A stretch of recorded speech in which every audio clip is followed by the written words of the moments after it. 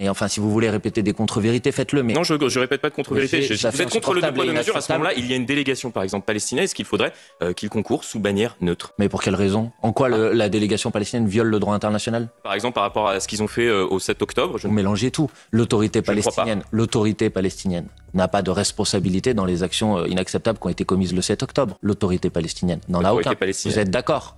Vous êtes d'accord Donc m'expliquer la raison pour laquelle on considère que face aux violations du droit international de la Russie, les athlètes russes doivent concourir sous bannière neutre aujourd'hui et pourquoi on considère scandaleux de demander la même chose pour les athlètes israéliens? Là, il y a un deux poids deux mesures qui est effectivement incompréhensible et Je crois que inacceptable. Manuel Bompard atomise un journaliste militant en plein direct sur les athlètes de l'occupation israélienne au JO de Paris. Le coordinateur de la France Insoumise et député des Bouches-du-Rhône, Manuel Bompard, était invité sur le plateau de CNews. Face à lui, le journaliste militant Florian Tardif, fervent soutien de l'extrême droite israélienne, qui accuse la France Insoumise d'inciter à la haine pour le simple fait que le député LFI Thomas Porte ait demandé à ce que les membres de l'occupation israélienne concourent sous bannière neutre aux Jeux Olympiques de Paris.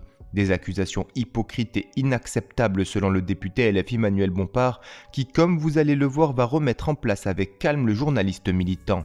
campagne de, de haine, excusez-moi, qui s'abat sur Thomas Porte depuis qu'il a tenu ses propos euh, est tout simplement inacceptable et insupportable. On a le droit en France de considérer que oui, un événement comme celui des Jeux Olympiques euh, euh, permet de euh, utiliser en quelque sorte un moyen de pression diplomatique à l'égard euh, d'un gouvernement qui mène, euh, il me semble quand même important de le rappeler, à l'égard de la population palestinienne, euh, des actions qui sont des actions inacceptables et encore une fois qui ont été pointées du doigt par les instances internationales. Je vous rappelle qu'on parle de 40 000 morts directs qu'on estime à... Chiffre à- du Hamas?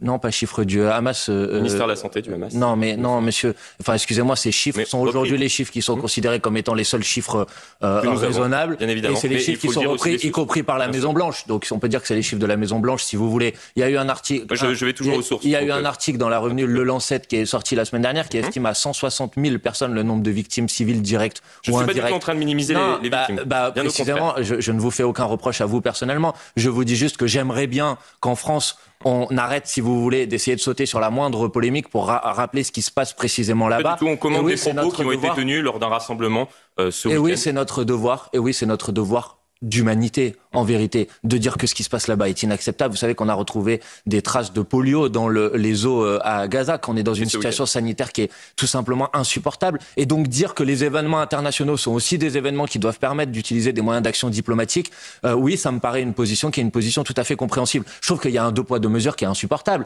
Quand Madame Hidalgo disait que les athlètes russes n'étaient pas les bienvenus à Paris, elle voulait dire par là même que la délégation russe, les athlètes allaient concourir sur bannière neutre. Personne n'a trouvé que ces propos étaient tout droit en France de considérer que oui, un événement comme celui des Jeux Olympiques euh, euh, permet de euh, utiliser en quelque sorte un moyen de pression diplomatique à l'égard d'un gouvernement qui mène, euh, il me semble quand même important de le rappeler, à l'égard de la population palestinienne, euh, des actions qui sont des actions inacceptables et encore une fois qui ont été pointées du doigt par les instances internationales. Je vous rappelle qu'on parle de 40 000 morts directs qu'on estime à... Chiffre à- du Hamas?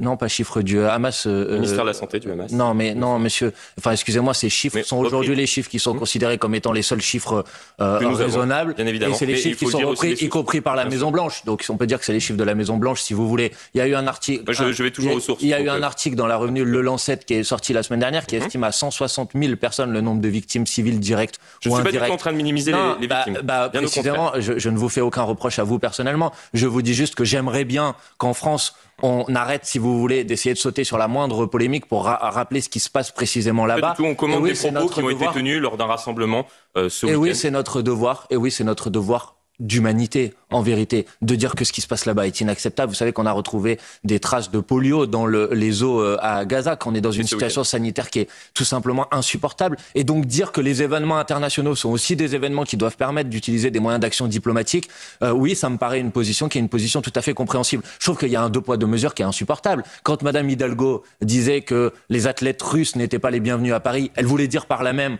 que la délégation russe, les athlètes allaient concourir sur bannière neutre. Personne n'a trouvé que ces propos étaient tout à Vous fait êtes contre le deux mesures. À ce moment-là, il y a une délégation, par exemple, palestinienne. Est-ce qu'il faudrait euh, qu'il concourt sous bannière neutre? Mais pour quelle raison? En quoi le- la délégation palestinienne viole le droit international? Je ne parle pas de, ça, mais par exemple par rapport à ce qu'ils ont fait au 7 octobre, je ne parle pas du peuple palestinien, mais je parle bien évidemment de ces attaques terroristes qui ont été commises à l'égard du peuple israélien. Vous mélangez tout. L'autorité palestinienne, l'autorité palestinienne n'a pas de responsabilité dans les actions inacceptables qui ont été commises le 7 octobre. L'autorité palestinienne n'en a aucun. Vous êtes d'accord? Vous êtes d'accord? L'autorité palestinienne n'en a pas. Bon, là, il, ne s'agit donc pas de ça. Il s'agit de dire si, oui ou non, le gouvernement israélien viole le droit international. Et la réponse est, oui. Non, ce n'est pas ma position. Il y a encore une action, il y a encore une action, il y a encore une décision qui a été prise par la Cour internationale de justice. Vous parlez de deux points de mesure, donc c'était pour cela que je vous posais euh, cette question-là. Ben, ben non, il n'y a pas de deux poids deux mesures. En l'occurrence, euh, vous, vous, vous, comparez euh, l'action de, de, de l'autorité palestinienne et l'action de l'autorité israélienne. L'une de ces deux autorités, en l'occurrence le gouvernement gouvernement israélien a été jugé coupable de violation du droit international. Mais qui est contesté aussi par une partie de la population israélienne. Non mais d'accord, mais il y a des autorités internationales, monsieur. La Cour internationale de justice, qui est l'organe suprême rattaché à l'ONU, vous, vous, contestez sa légitimité à prendre des décisions. Bon, à partir de ce moment-là, à partir du moment où cette euh, Cour internationale de justice prend une décision et accepte et euh, entérine l'idée que l'État. Je ne suis pas sûr sur euh, ce deux points deux mesures qu'on pourra être euh, d'accord sur, non, mais ce point, mais pourquoi pas? Non, mais c'est pas une histoire d'être d'accord ou pas. Mhm. Dites-moi quel est le jugement d'une autorité internationale qui considère que l'autorité. Je ne remets pas du tout en cause ce, jugement. J'essaie de juste de comprendre votre votre logique vis-à-vis des athlètes israéliens par rapport aux autres athlètes ou aux autres délégations. Ma logique, monsieur, elle est très très simple